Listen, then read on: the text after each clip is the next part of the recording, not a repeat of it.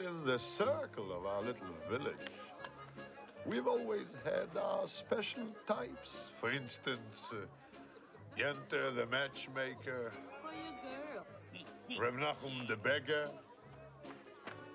and most important of all, our beloved rabbi. Rabbi, may I ask you a question? Certainly, Labish. Is there a proper blessing for the Tsar? A blessing for the Tsar, of course.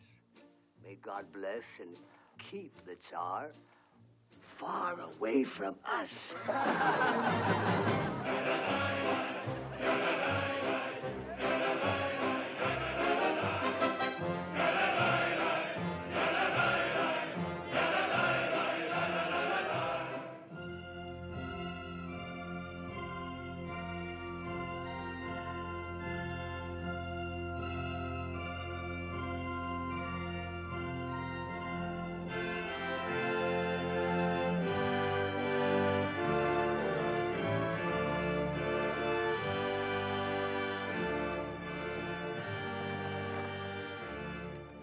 there are the others in our village.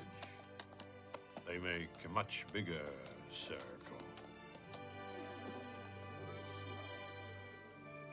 We don't bother them, and so far, they don't bother us.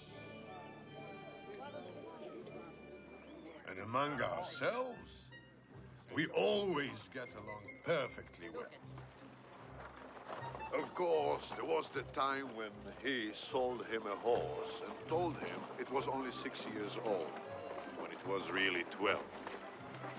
But now, it's all over, and we all live in simple peace and harmony. It was really 12 years old. It was six. Moshe, how